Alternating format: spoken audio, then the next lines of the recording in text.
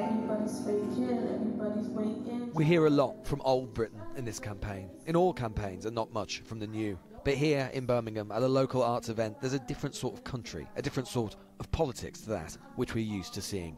If there's a surprise in this election, it's probably because of what you're about to see.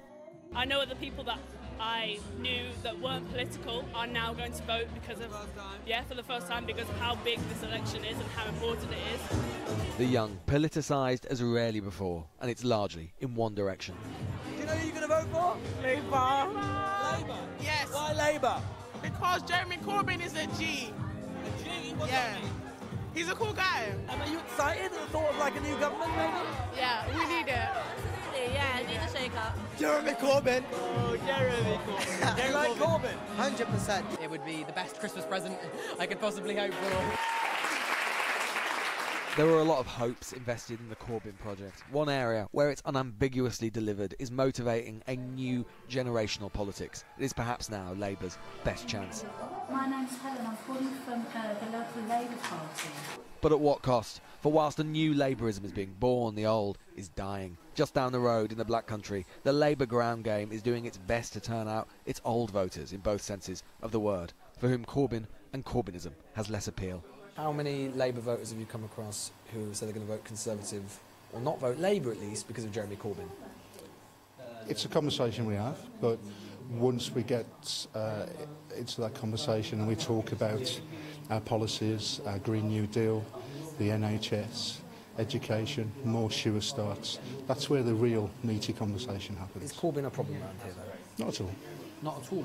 Not at all. I wonder. In 2017, this was the place, this very pool club in the marginal constituency of Birmingham Northfield, where it became clear to me the Labour vote was holding up with its traditional working class voters. Two years ago, Chantal told me she was voting Labour. Now, she's not so sure.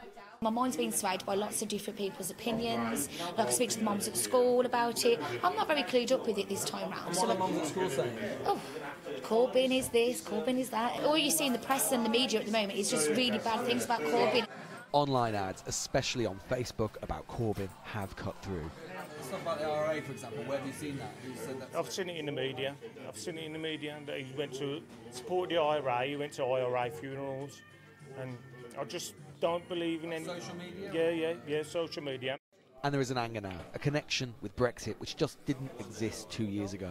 I don't think there was, a, as I said, there wasn't a connection there back in 2007. I, I really don't think there was. But now I think it's pretty clear on the cards that it is solely about Brexit.